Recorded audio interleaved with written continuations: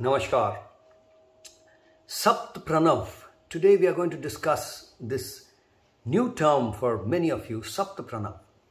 As you know, Pran Lila Upasana, which is one of the primary, primary sadhana paddhati or primary routines that we have as part of this whole Karma for 21st Century Fit for Life program. In this, the one practice that you are doing every day other than Somno Magic is Pranlila Upasana. So the Pranlila Upasana, as you also know, consists of 18 sections, you know, 18 steps. Now, I have mentioned all this earlier. Today I'm going to focus on the 14th step of Pranlila Upasana, which is called Sapta Pranav. Now, you have already been doing this practice for almost 55 days now. Today is the 55, number 55 satsang that we are, we are in for. So, you might say that, oh, why didn't you tell this earlier? For 55 days we've been doing this without even understanding what we are doing, etc. The point is that the method on which we have established this whole process of teaching and learning. Teaching and learning, why? Because this Fit for Life program is really a program for teaching and learning, mutual teaching and learning. It's not essentially something that um, that one person is teaching and everyone is learning. Everyone who's participating is actually in the process of teaching and learning. You learn as you do this. So you learn by doing and you do by learning, all of this together. And as you are doing it and as you progress, if you learn something, it is your responsibility to kind of propagate it to others. The whole thing is designed in a manner that it will not cause you any harm if you did if you did Saptapranav incorrectly without understanding all its nuances for 55 days. No harm.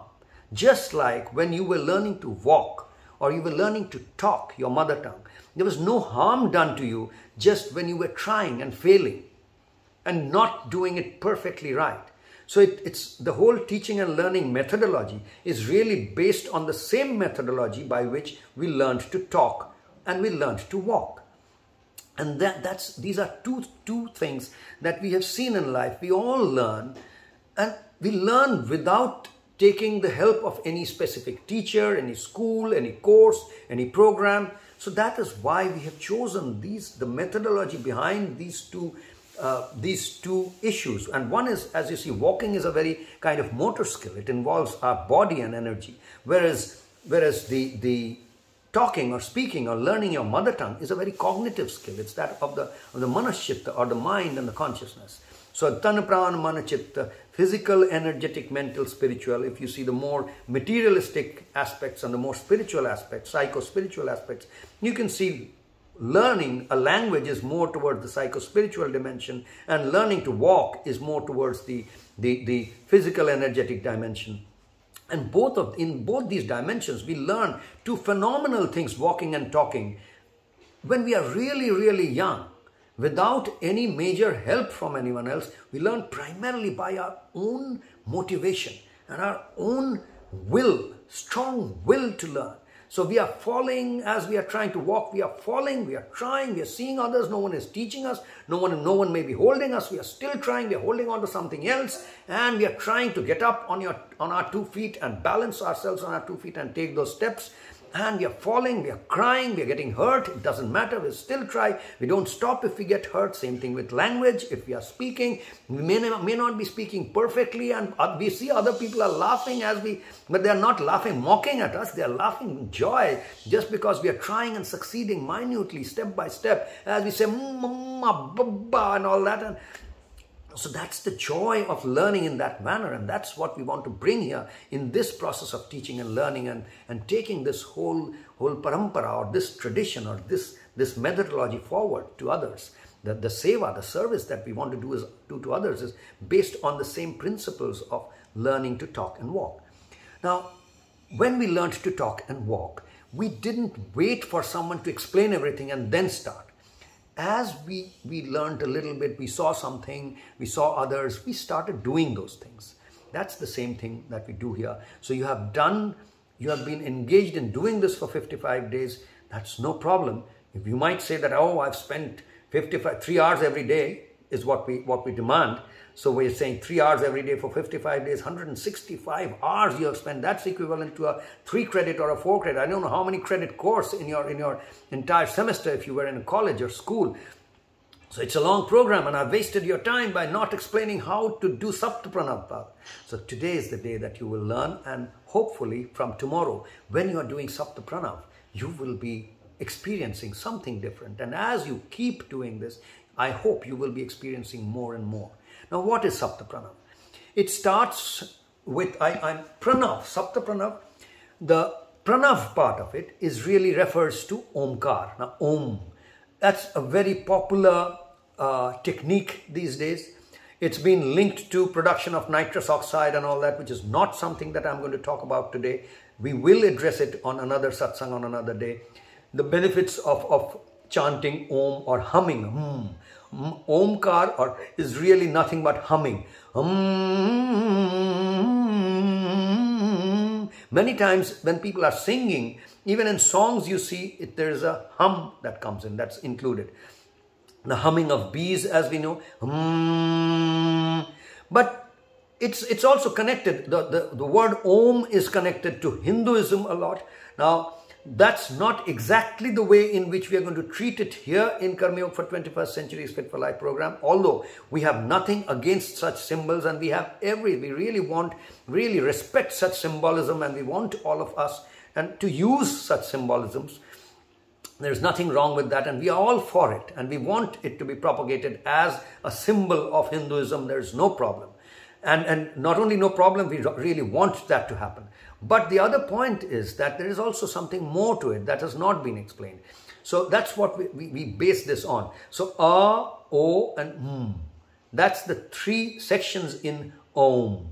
So A, uh, when you're saying your lips are kind of open in this manner, uh, then when you're saying oh, your lips, lip shapes has changed. Oh, and finally when you close your lips and try to make any sound, the only sound that you can make with your lips shut is hmm, hmm, the humming sound.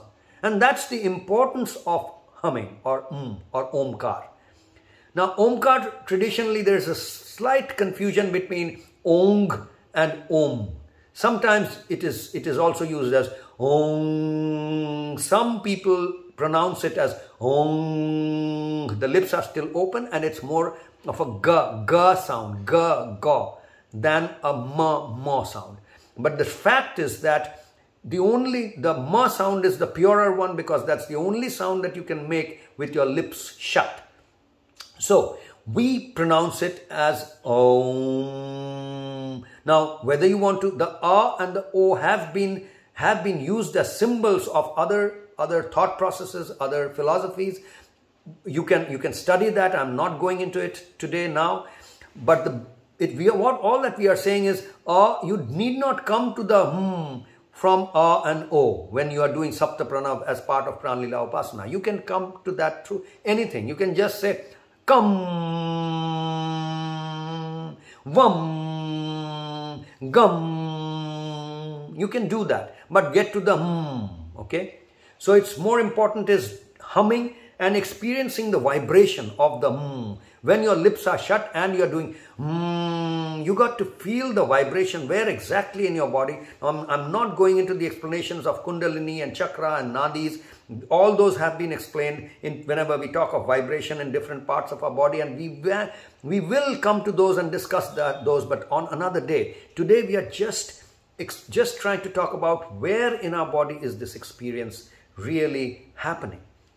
So we try, to focus on that part of our body and experience the vibration as we make the sound mm. But that's the seventh section. Before we come to mm, we have actually in Sapta Pranav, Sapta means seven. Sapta, the word, the prefix Sapta always means seven in Indian languages or Sanskrit. So there are seven, the seventh one is hmm. So there are six sections before that. The first one is really the, the sound ga, ga, ga. So you can see that there is the, you can make the sound ga by adding a, e, u, a, the vowels with it. So ga, gi, go. You can you can make all those sounds, but that sound you can make only if you have added vowels to it. Now, what if you were to add the vowel first and reach at the consonant at, at the end? So if you were to say ag, instead of saying ga, if you say ag, the sound that you make and the vibration that you get, that is the first charan or the first step of Sapta Pranav. G, dog. If you, the word dog, dog, dog. If you were to extend the g of the last, last sound that you're making, dog. Oh, it's a cool dog. Oh, such a cute dog. Dog, dog. So that's first step. Step number two is the sound ra, ra. Ra, ra, Rasputin. So ra. It's Now, instead of doing ra or hurrah, re, instead of that you're doing ar. You add the vowel first and come to the consonant later.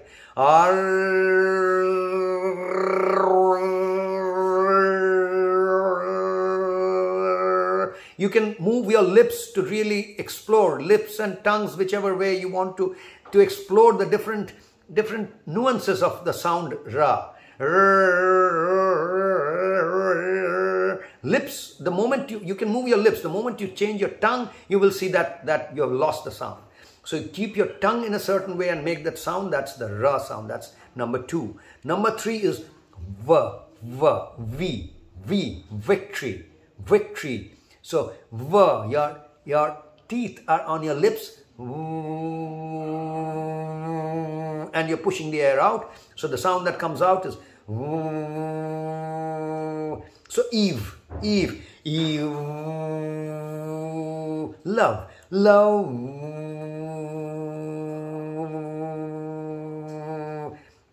So these are the first three, ga, ra and va. And then you come to la, la. Just in love, as I said, la, li, lo, la, la, la, la, la, la. La is used a lot in singing also, in, in music. But here, instead of again adding the vowel at the end, you're adding the vowel first. So you say, al. You can say, kal, wall, dull. Doesn't matter. You can, you can come to the la but extend the l and feel the vibration. Where is it vibrating? In exactly which section, which part of your body. okay, then from la, la is the fourth one. Now from la you are coming to z, z, z, z, z and s, s, z, s, z, whose, was, or, or so, so, instead of so, you are doing oh, and taking it into the Z sound because the s, sa, sha and za, this is kind of the same family. Kind of the same family, you can kind of go from one to the other. So you that's what you do.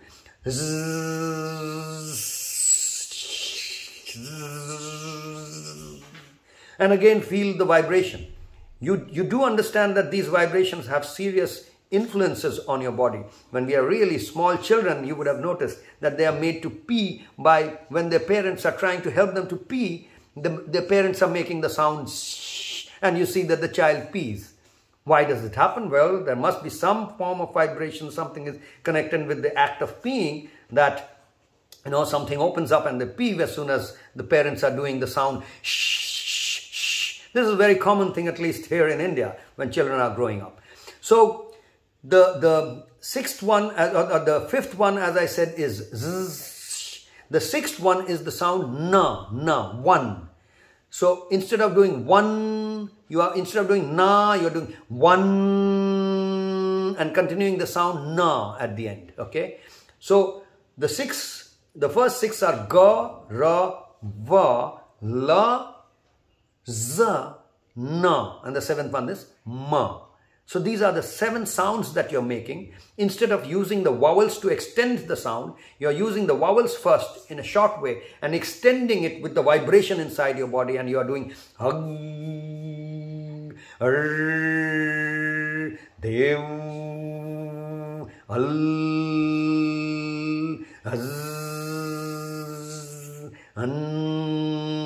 um. So those are the seven sounds that you're making, vibrations that you're feeling. Now, the one important thing is many of these things, these sounds, you will see are symbolically connected with different religions.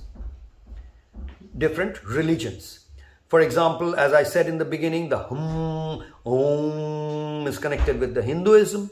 Similarly, Allahu Akbar is a chant that is made by is in Islam. Allah, as you know, is, is the is their their anyone who's following Islam, their experience of God, of of of uh, of the divine is through this sound of Allah. So is very connected with Islam.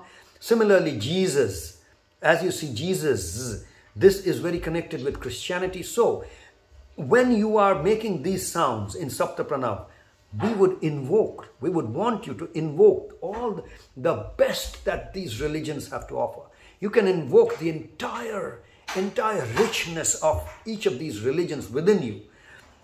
In fact, you can become a Muslim when you're doing Al. We can become a Christian when you're doing Z. We can become a Buddhist because mm is connected with Buddhism. Because as we know, Siddhartha Gautama, who, who came out of his palace in search of the answer, what causes dukkha? What causes dukkha? Dukkha means sorrow. What is the cause of sorrow? Finally, after years, where he reached, when he, when he became the Buddha under the, the banyan tree in, in Gaya in, in India, when he became, when he achieved what is called Buddhahood, when he became the Buddha, then it is said that he understood the, the the, the real cause for sorrow and, and the real path towards happiness as oneness. He said that the real cause for sorrow is dvaita or two-ness, separation.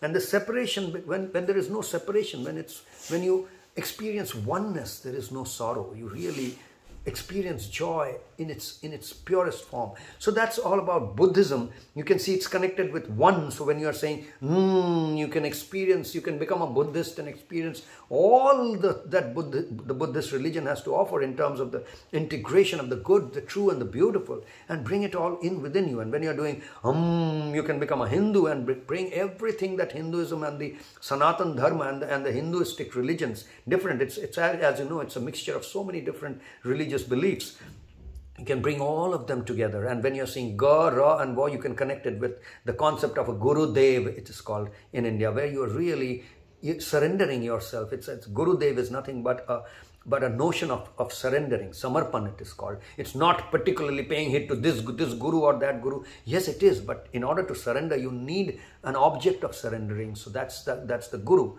So Guru Dev, Dev is, is divine. So you are, when you are being able to surrender to the to the forces of divinity through a live live person.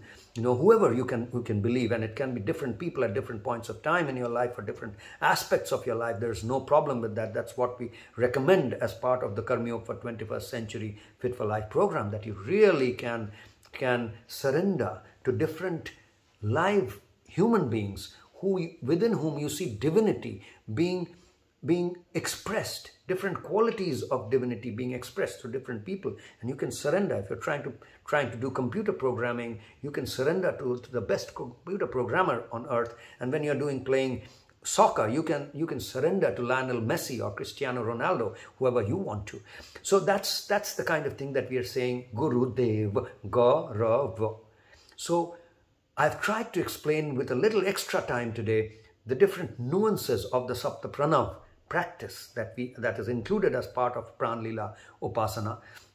The physical aspects, how you sit, what you do with your breath, how you what kind of vibration you generate, how exactly you're going to do that, what you should feel, what you should become, what you should see with your mind's eye, all that has been explained. It's going to be a journey. Please be certain that just because you have heard this today, that from tomorrow you, you will be a perfect yogi doing a perfect Saptapranav is not how it's going to happen. It's going to take you years, lifetimes probably to, to keep becoming perfect at it. No problem. That's what we are all doing. We are all at it.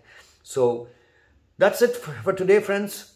Saptapranav, you've understood You've understood how to do it, what to think, who to become, what kind of noise to make, what kind of sound to make. That's all for today, friends. Take it easy and take care.